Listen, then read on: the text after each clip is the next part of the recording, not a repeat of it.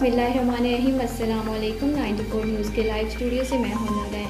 खबर शामिल करते हैं मंडी बहाउद्दीन से। चेलियावाला में सड़क पर शेर नज़र आ गया, जिसके बायस लोगों में खौफ हरास फैल गया। मजीद जानते हैं अंसर जावेद की इस रिपोर्ट में। हाजी अंसर जावेद की तफसीलात के मुताबिक मंडी बहाउद्दीन के इलाका चेलियावाला में एक शेर नज़र आया। रिपोर्ट के मुताबिक ये शेर कई मिनटों तक सड़क पर फिरता रहा और फिर देखते ही देखते गायब हो गया। इलाका मकीनों का कहना है कि ये शेर अब भी हो सकता है कि इनके इलाके में मौजूद हो, जो किसी भी वक्त किसी भी बड़े हादसे का सबब बन सकता है। अब तक के लिए इतना ही मजीद खबरों और अपडेट्स के लिए देखते रहिए 94 न्यूज़।